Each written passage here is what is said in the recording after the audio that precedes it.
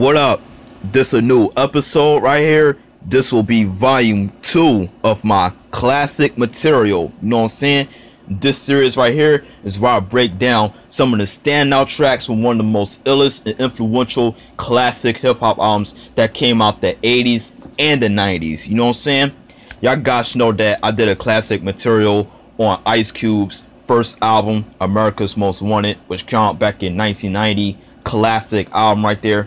So this time on the second episode, I'm about to break down some of the standout tracks from probably one of my all-time favorite hip-hop albums to come out the 80s, you know what I'm saying? And this album definitely played a big part of my life. I remember hearing this album when I was like, you know, six, seven years old. I just fell in love with this ever since then, you know what I'm saying? I'm gonna talk about all my real hip-hop heads should must know dope about this genre right here. I'm gonna talk about Biz Markie's first debut album, Going Off, released in 1988. In my opinion, this is one of the best albums come out the Cold Chillin' discography, in my opinion. Y'all guys must know who Biz Markie is. In my opinion, he's one of the most influential hip hop artists of all time. I mean, the dude is a fucking pioneer. He's very underrated. You know, the clown prince of hip hop. You know what I'm saying? Like, known for his beatboxing.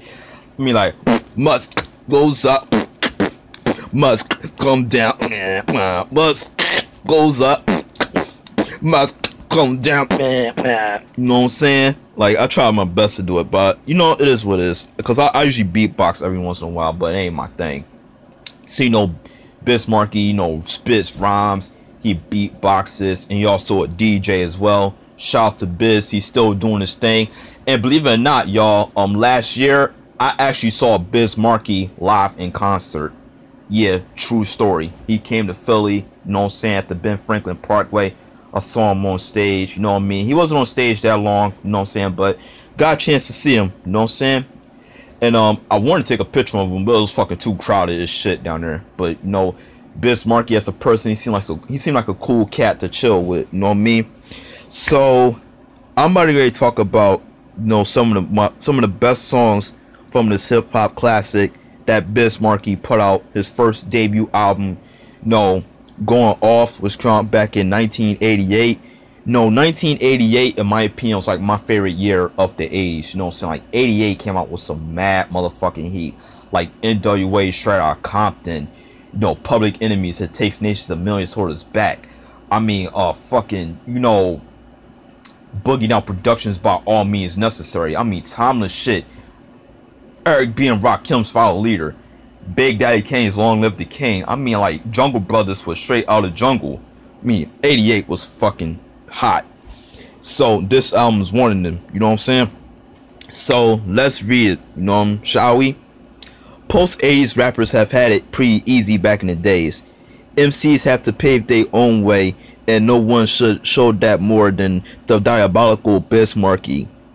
Biz was every man, the class clown, the guy in the corner who had to work extra harder to get heard. Marcel Hall, aka Biz Markie, was born in Harlem and moved to Brentwood, Long Island at the age 10, where he began um, owning his MC skills in 1978.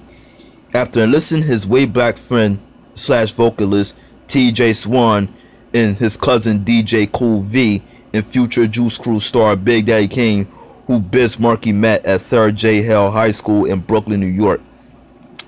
Biz then had his sights on being down with the Queens the Queens-based production kingpin Marley Marl.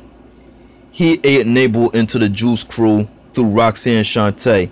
At the time, in 1985, I was Shante's beatbox.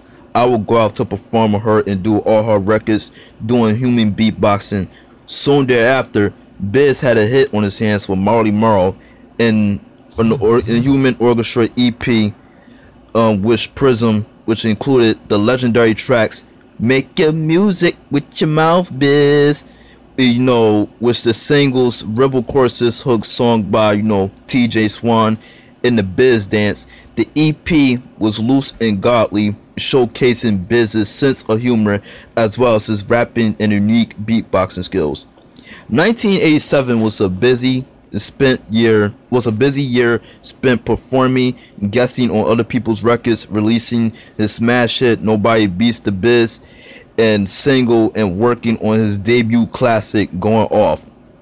The album hit in February 1988. It began the 1988-1989 ruling of Marley Marl's Juice Crew Syndicate. Biz explains the album's success plain and simple it was easy because I had the funk and I knew that I wanted out the album. I'm a simple person. If the beat is funky, some with something on top, then that's it. That's all I need. I'm the diabolical. One shed some light on his favorite cuts.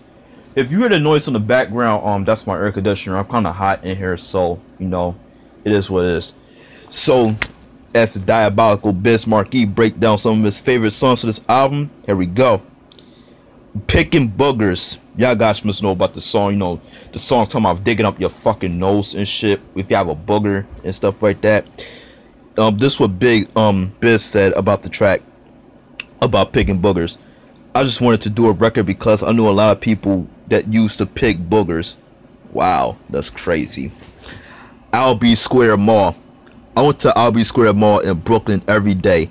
I used to get food for free close on credit and that was before the song. After the song i paid for everything because i had money then.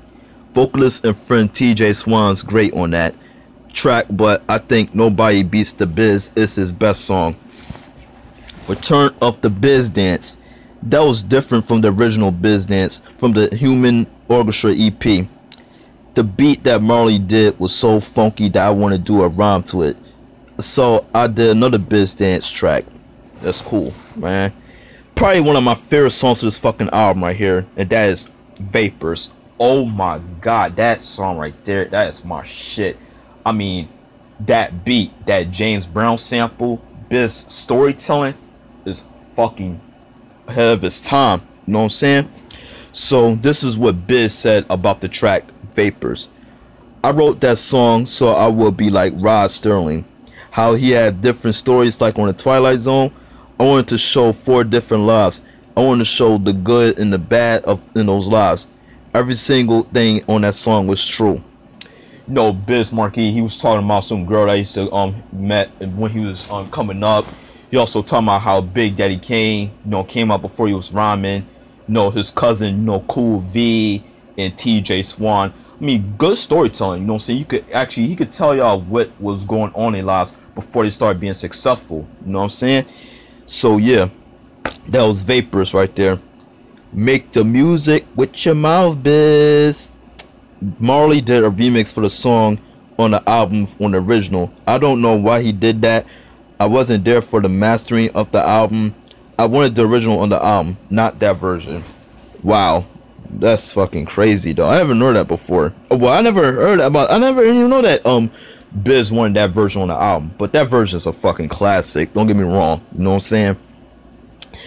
Nobody beats the Biz. That's a remix. I don't know why I did that either. I bought that into Steve Miller sample because I knew rock. I wanted to do just Steve Miller, but Marley had the Lafayette Afro Rock band sample for the the drum beat. This is something for the radio. Fucking love that song as well it was like 4 a.m. when I did that. I just wanted to act like I was drunk. They recorded while I was playing around, and after I heard it, I said, "Keep it." Wow, damn. See, this is what I like about Biz Markie. He just don't give a fuck. You know what I'm saying? Like he was just, you know, put out anything that would be fucking dope. That would be so good for people to check out. You know what I'm saying? Like that's a very dope song. You know what I mean? Definitely, that's like one of my favorites off the album as well. And Cool V Cool V's tribute to scratching. We had a record called Cool V versus Scratch um so Scratch a piece, something like that. I don't I can't see the fucking titles and shit, but anyways. That was supposed to go on the album with all Michael Jackson records, but never made the album. It's incredible that Michael Jackson wouldn't clear the stuff. Wow, wouldn't clear the samples and shit. You know what I mean?